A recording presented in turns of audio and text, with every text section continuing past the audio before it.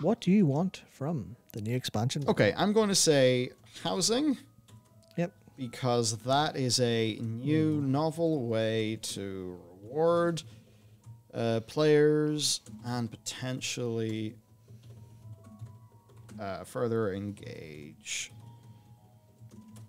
Is this a wish list or a fucking uh, application? but yeah. So we'll do one by one. Okay, Yeah. that's my list.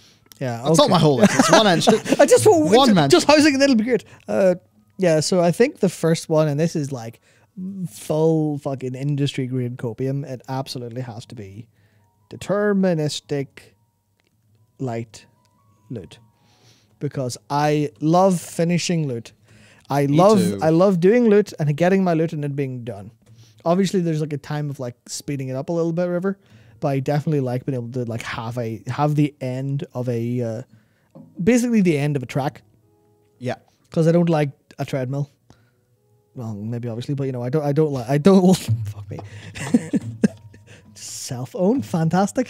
Yeah, no, I, I don't like. I don't like the fact that it's continuing. I would. I you know, I'd like to see an end goal that I can go towards in some capacity and call it a day.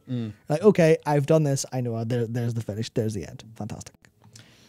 So deterministic loot that Yep. that gets to be on. You know, definitely going to Yeah. add that to my Oh, wish list. Yeah, I said light. I said light because it's like when I say deterministic loot in a way, sometimes I think of FF14 where I can just finish my gear in no time whatsoever. But obviously, World of Warcraft is about the loot progression. It's about a little bit of that Yeah. treadmill. Happy enough. So it's like, yeah, I absolutely would. You know, I I, I, I wouldn't want to remove that. I just think like badges and stuff would help it.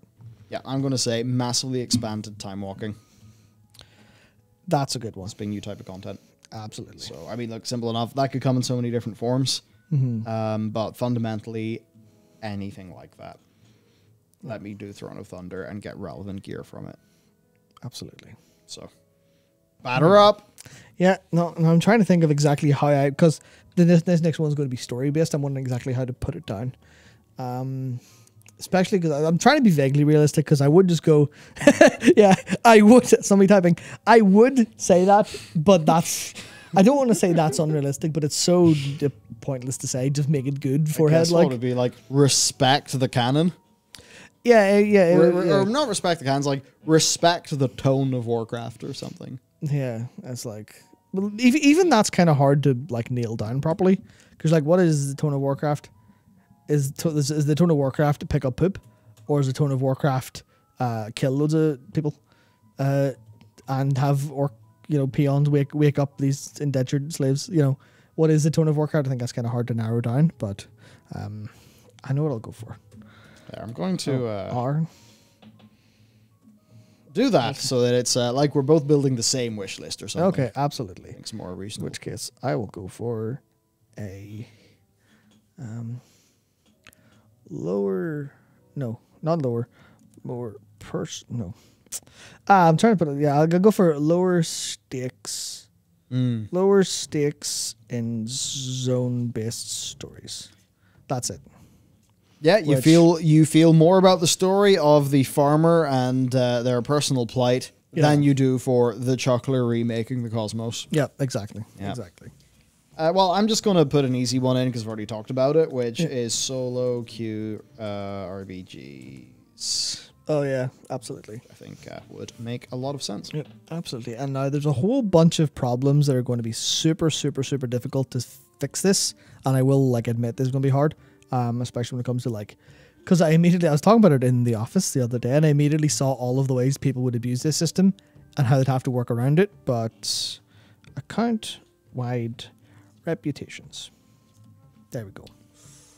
Yeah, because obviously one of the big problems there will be, as I, as I said in the office, literally just account wide reps. Your your highest rep is what matters, so you can't like do it in multiple alts. Then everyone in the game will just go, okay, I have a human alt just to get reps. Fantastic. but yeah, no, they have to fix that. But yeah, that's exactly it. Hmm. Yep. Mm-hmm.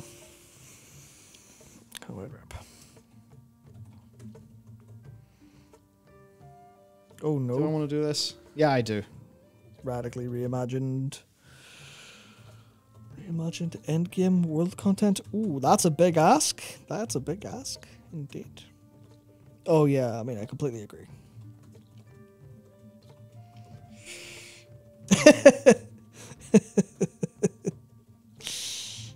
Very good. Please, no more Radiant quests. I don't know. I think world quests are fucking shit.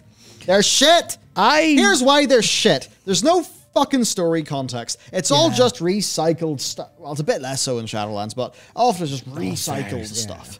Uh, you know, when you know what it used to be?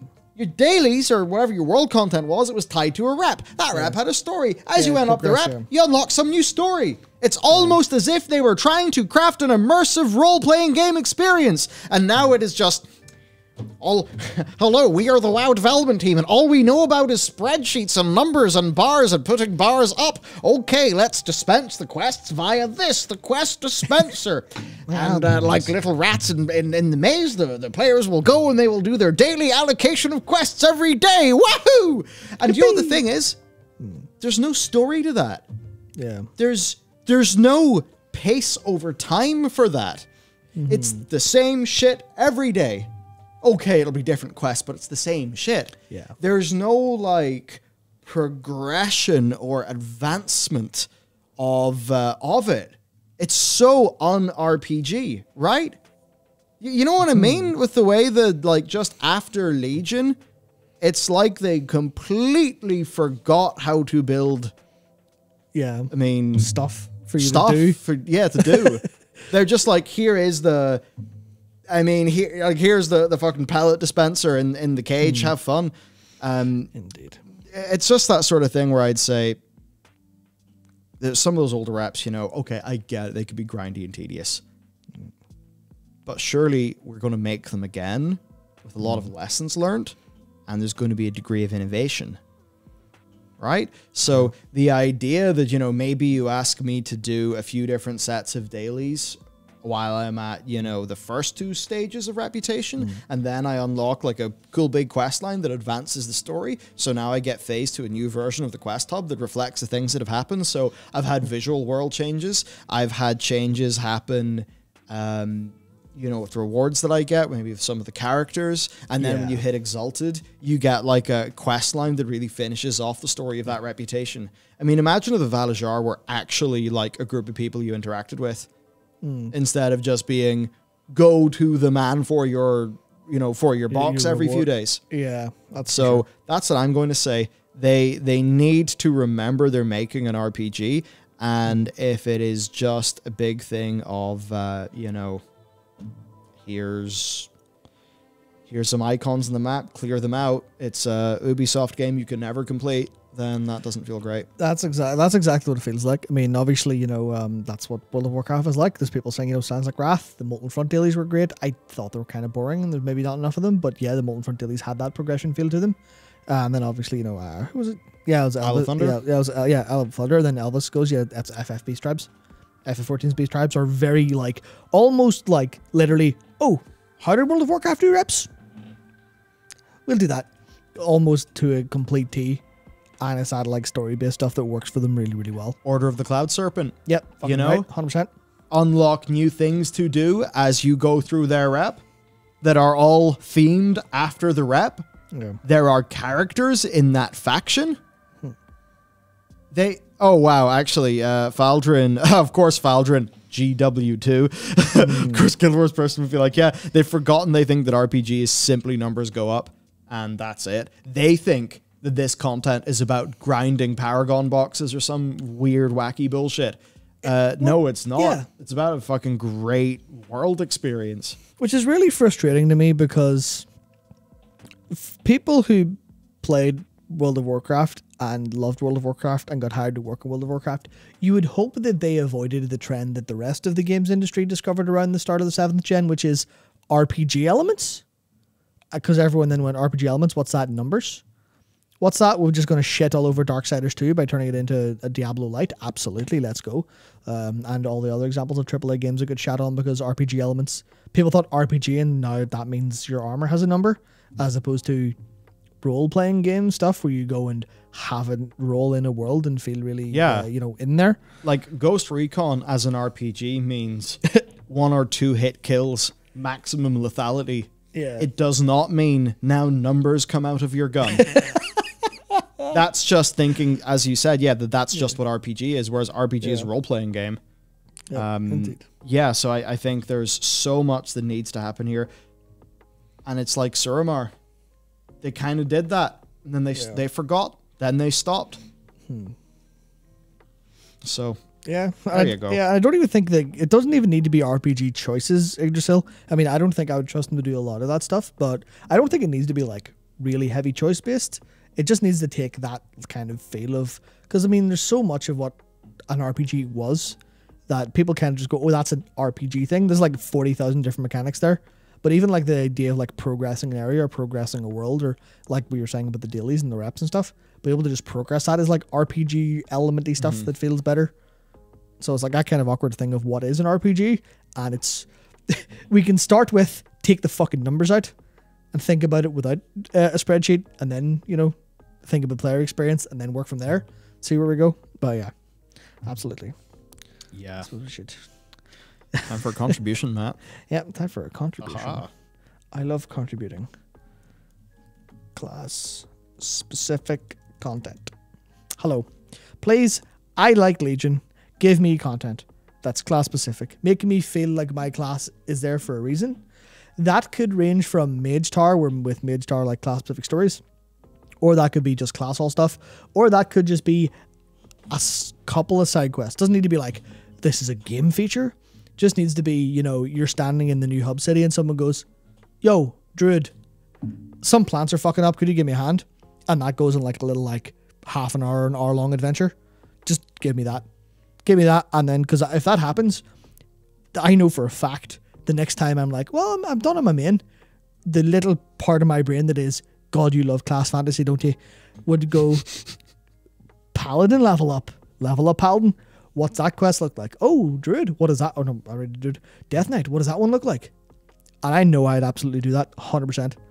And that's the stuff where, like, that would just be, that would, that would drive so much playtime and so much enjoyment for me. 100%. 100%. Yeah. I Fuck, I love Legion.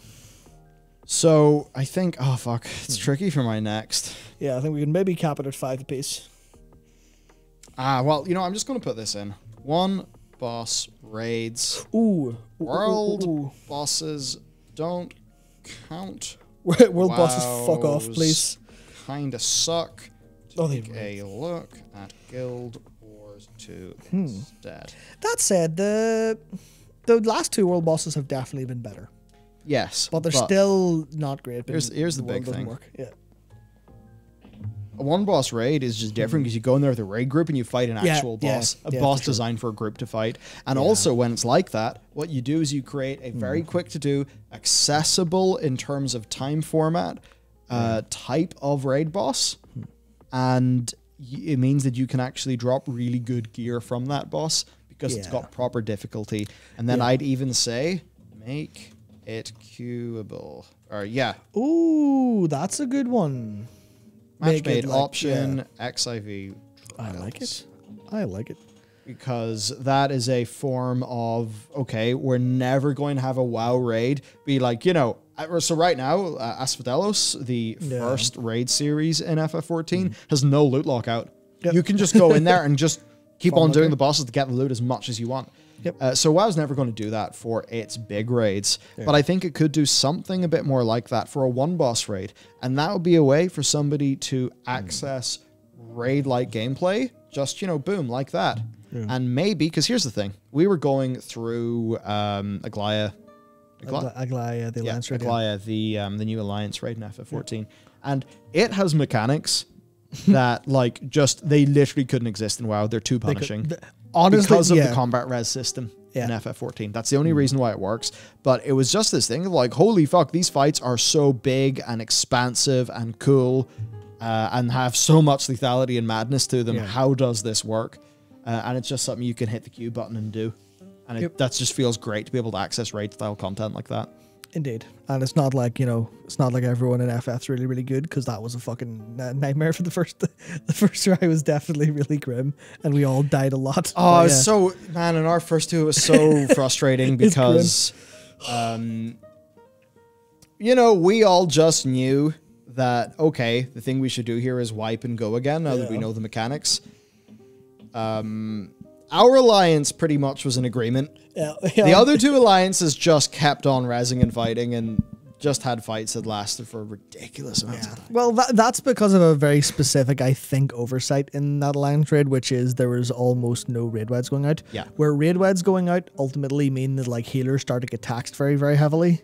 But there, like, they were very, very rare that a raid wide was going out or doing raid wide damage, which then meant that a healer could just conserve mana from healing and res people and just continue the chain. But yeah, it's fuck, it's good, good experience. Good Yeah, experience. totally. Hmm. yeah.